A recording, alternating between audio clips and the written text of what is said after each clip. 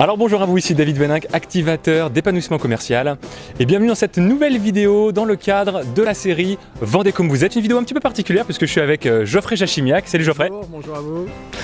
Et on profite en fait d'un événement networking, d'une soirée euh, réseau et pour ben, pouvoir euh, retirer de l'information euh, du cerveau de Geoffrey, puisque Geoffrey organise euh, beaucoup d'événements autour du réseautage, est également un spécialiste en la matière. Euh, notamment effectivement autour du web francophone, mais pas seulement, euh, tout autour de ce qui tourne finalement du réseautage séduisant, puisqu'il allie intelligemment, euh, je dirais, son, son expertise issue de la séduction au réseautage et comment finalement eh attirer à vous des partenaires, des prestataires ou- même des clients. Donc Geoffrey, est-ce que euh, tu pourrais nous donner quelques, quelques conseils, quelques astuces que l'on pourrait appliquer de manière concrète lorsque l'on vient comme ça à des événements de networking et des événements de, de réseautage? Yes. Alors déjà, le premier conseil concret, très clairement, c'est euh, de faire des événements et de participer à des événements parce que dans notre domaine, par exemple, on est souvent sur Internet, on vend par Internet et on oublie que euh, le fait de rencontrer les gens, ça reste le meilleur moyen de faire des échanges, des partenariats et de créer du business pour sa propre activité. Donc euh, première chose, c'est regarder autour de vous qu'est-ce qui se passe et participer à des, à des événements. Donc ça peut être des événements en bas de chez vous, ça peut être des événements sur des salons, ça peut être des événements, des conférences.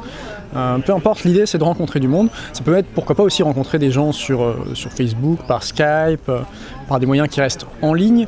Mais le moyen le plus simple de rencontrer rapidement du monde, ça reste d'aller à un événement où il y a déjà du monde. en Mhm. fait. Donc euh, voilà, je vous recommande de, de sortir, de, de sortir de chez vous et d'aller à la rencontre des gens tout simplement. Ouais. Ça c'est le premier conseil.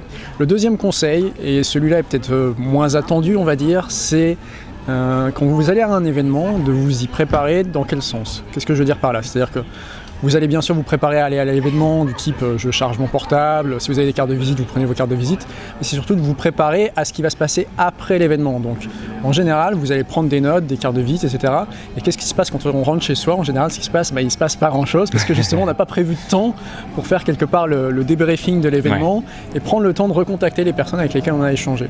Donc euh, une des leçons que j'ai tirées euh, il n'y a pas si longtemps que ça au final, c'est que plus on va investir de temps sur un événement, donc euh, là on est là pour une soirée, mais si c'est un événement sur un jour, deux jours, trois jours, et bien proportionnellement il faut prévoir du temps derrière pour le débrief.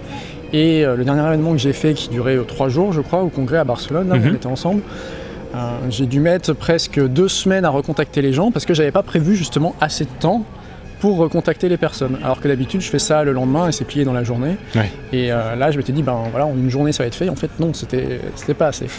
Et euh, donc voilà, ce serait le, le deuxième Hmm. conseil que je pourrais donner. Prévoir du temps euh, Voilà, pour pouvoir euh, mettre en place les actions que l'on a décidées finalement lorsqu'on a rencontré les gens, exactement. les recontacter, les relancer et puis mettre en place eh bien, ce qu'on avait défini lors de l'événement. Exactement. Ok. Et du coup, ben, le, la, la conséquence, je dirais, c'est que si vous voulez avoir des gens à recontacter, ça veut dire qu'il faut être actif aussi dans l'événement. C'est-à-dire pas juste Oui. se laisser porter, mais peut-être vous, à votre niveau, déjà, définir, alors je dirais peut-être pas jusqu'à dire des objectifs, parce que ça, ça impose un peu une espèce de contrainte, de pression, mais se dire, voilà, qu'est-ce que j'aimerais bien faire et qu'est-ce que j'ai envie d'aller chercher sur cet événement? Ouais. Et du coup, on, on vient dans l'événement avec une intention. Est-ce qu'on y va plutôt pour chercher des clients, chercher des partenaires, juste voir d'autres choses? Moi, il y a par exemple quelque chose qui m'intéresse beaucoup en ce moment, c'est de- d'aller dans des, des milieux qui ne sont pas du tout ceux où j'ai l'habitude d'aller, pour essayer de choper des idées, voir qu'est-ce que je peux réintégrer dans notre marché qui est l'infoprenariat par exemple. Ok. Et euh, voilà, donc c'est mon attention du moment, et donc euh, bah, je sais qu'il y a des gens avec lesquels, a priori, j'ai pas d'affinité, mais je vais prendre le temps de les écouter parce que je, suis- je viens dans cette intention-là, et du coup, je sais pourquoi je prends le temps de parler avec ces personnes-là. C'est pas pour me cacher par rapport à mes vrais objectifs, c'est parce que ça fait partie de mes objectifs. Ouais, tout Voilà. à fait. C'est ce que tu as déterminé qui faisait que tu allais être satisfait de la participation. Exactement. Donc euh, j'encourage les personnes qui regardent cette vidéo à réfléchir quand elles vont à un événement à, à qu'est-ce qu'au final je vais chercher dans cet événement, ou en tout cas quelle est mon intention derrière cet événement. Je dis pas que ça marche à tous les coups, peut-être que des fois vous allez vous planter, vous allez vouloir tester un événement et vous rendre compte que votre cible n'est pas présente à cet événement, donc ça ne marchera pas. Mais euh, au moins voilà, il y a une intention qui est claire et qui permet de focaliser vos efforts, votre énergie euh, au bon endroit.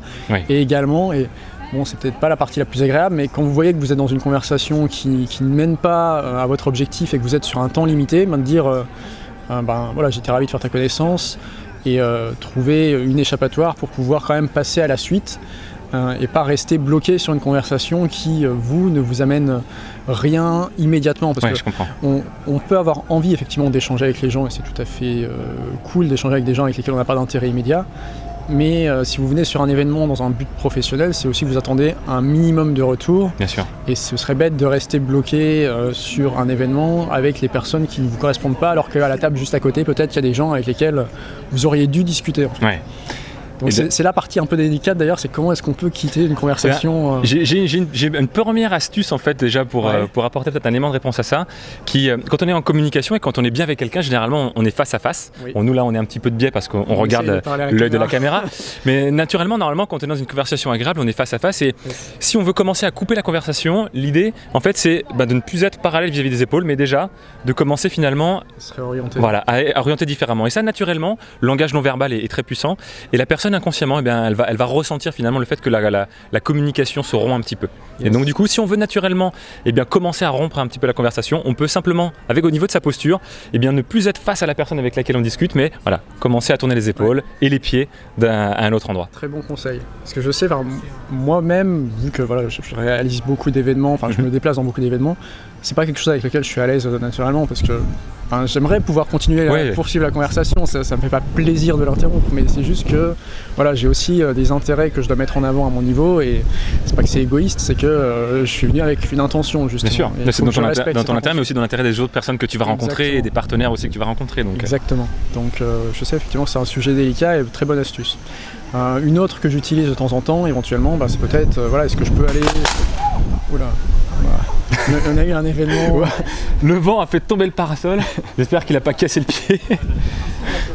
Euh, une, Il s'en occupe. yes. Une autre astuce éventuellement, c'est voilà, quand il y a un événement, il y a- on peut servir des boissons, c'est est-ce que je peux aller te chercher quelque chose à boire? Et voilà, ça permet de réorienter, on va dire, le contexte. Je vais chercher à boire à quel- à la personne, je lui ramène, et ça me permet aussi au passage peut-être de me réinsérer dans une autre conversation juste Ouais. à côté, de manière plus, euh, plus soft, plus fluide, sans froisser la personne, et en lui rendant service au passage. Donc euh, Tout à fait. on continue d'apporter de la valeur euh, dans l'échange. C'est un bon moyen comme ça de créer la, de créer la rencontre, d'avoir. euh, des fois, on se demande, bah, tiens, comment je peux l'aborder, qu'est-ce que je peux lui dire? Là, ça permet naturellement finalement d'aller voir la personne. Exactement. Donc euh, voilà. Bon, Ok, On essaie de trouver des, des petites astuces comme ça pour, pour ne pas froisser et que ça passe bien.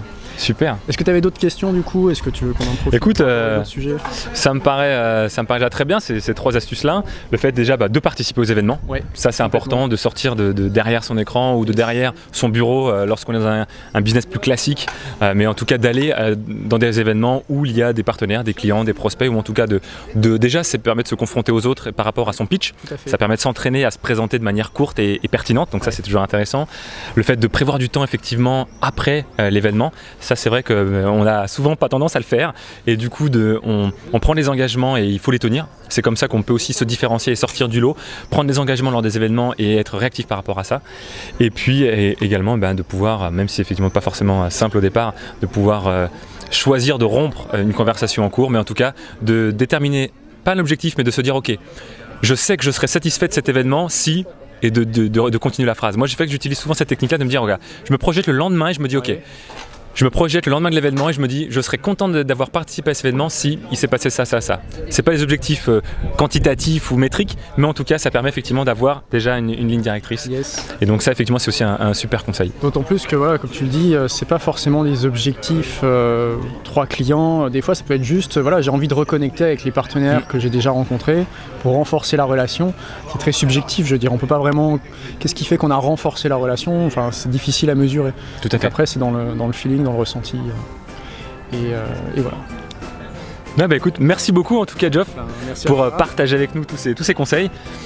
Merci à vous, j'espère que cette vidéo euh, vous permettra dans les prochains événements eh bien, de, de tirer votre épingle du jeu, de pouvoir euh, développer votre activité. Euh, moi je vous dis à demain pour la nouvelle vidéo de la série Vendez comme vous êtes. À bientôt Merci. revoir, Jeff. à bientôt.